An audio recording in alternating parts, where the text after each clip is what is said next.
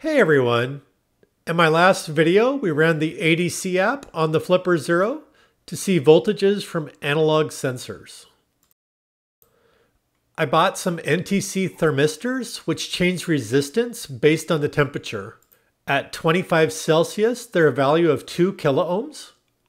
We convert that resistance to voltage, which we then connect to the ADC on pin A7. In this video, we'll write a JavaScript application to show the voltage and temperature. Let's get started. I've created a folder for my project. I'm going to right click, new text document, and we'll call it sensor.js. And we'll say yes, rename it to .js. And then we'll open that in Notepad.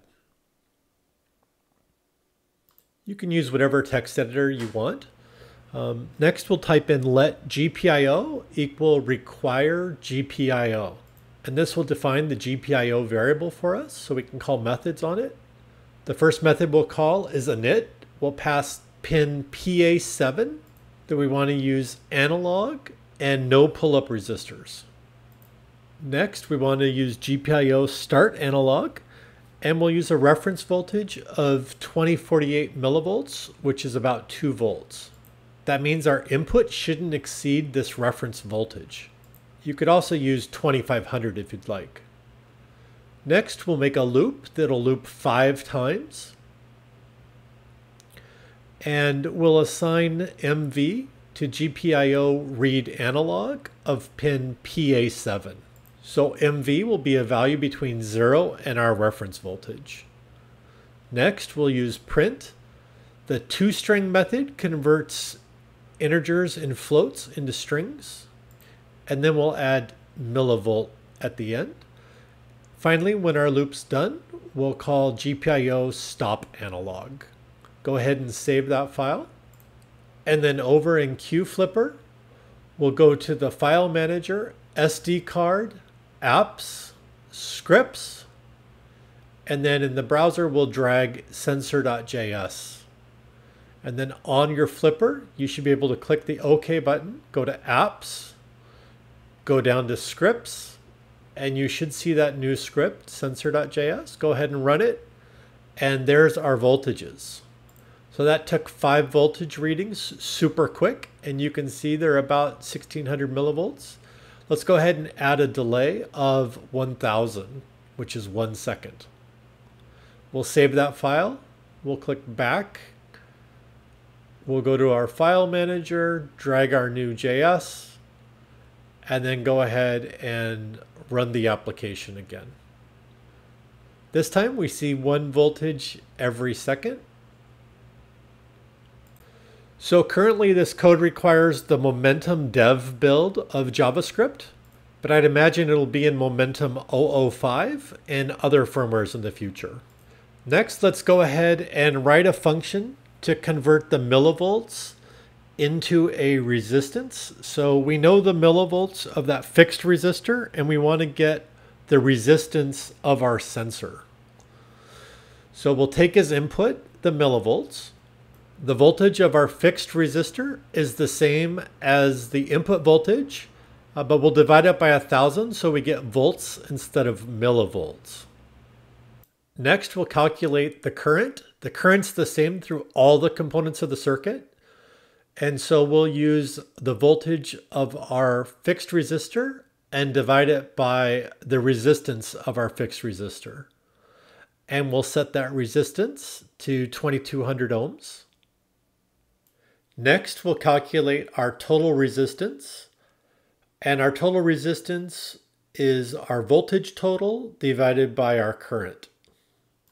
We connected the top of our NTC thermistor to the 3.3 volts pin on the Flipper Zero. So we'll set our voltage total to be 3.3 volts. And now we can calculate the sensor resistance, which is just our total minus our fixed resistance. And then we'll go ahead and return our R sensor value. I'll go ahead and copy the name of the function and then down where we did our reading the analog sensor, we'll add a call to our new function and we'll convert the millivolts to resistance. We'll put our output message in a variable called MSG, and then we'll append our sensor resistance and ohms. Go ahead and save the file, and then in QFlipper, switch back to Files, drag our new sensor.js, and then we'll run the sensor.js. Okay, and we can see the ohms, um, but I forgot to put a space in front of ohms. So we'll go ahead and save that change, go to File, drag our new sensor.js, and run it again. I really like how quickly we can make edits to our JavaScript. That looks better. So that's all the code you need to be able to read the voltage and figure out the resistance of the sensor. So the next step is to convert that resistance into a temperature. I'll do a let math equals require math so that we can use the math library. And then I'll paste in a function that was inspired by ChatGPT. Okay, let me resize Notepad so we can see the full function. There we go. So we've put in the B value and the R0 from our thermistor, and we're using math.log, and we'll end up returning a temperature in Celsius for a given resistance that's passed into us. Let's go ahead and copy that method name. And then down below where we've got our resistor, we'll go ahead and set our temperature Celsius and that just equals our function and we'll pass in our sensor resistance. So now that we have that temperature, let's go ahead and edit our message. So we'll go ahead and add a toString with that temperature and we'll add the Celsius. Okay, save our document.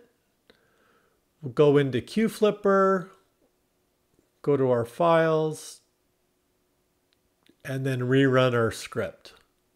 And now we can see the 25 Celsius. So I'll go ahead and add a colon after ohms. And then I'll paste in another function, which will format that temperature number into having a single digit after the decimal point. Okay, should say one digit after the decimal.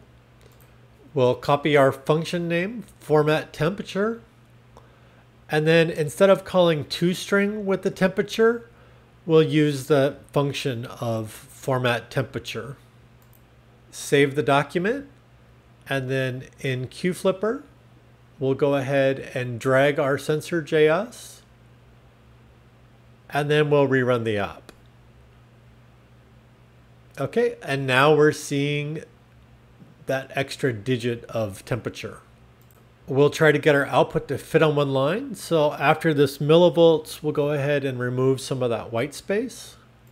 Save our file, go into QFlipper, drag our file over, and rerun the script. And now we see each entry on its own line. We'll go ahead and increase our loop so it prints 50 times instead of 5. And then we'll update our flipper with our new JavaScript. Flip on the camera and run the app. And now you can see the temperature is 26.5, 27. When I touch it, it warms up and we're in the 30s. And then when I stop touching it, it starts to cool down again. In this video, we used an NTC thermistor, but the process for writing JavaScript for say a light sensor and printing out the lux value would be very similar. Please like and subscribe. I'll put a copy of this code on my GitHub along with another version that ChatGPT wrote for me. Leave any comments below or on my Discord server.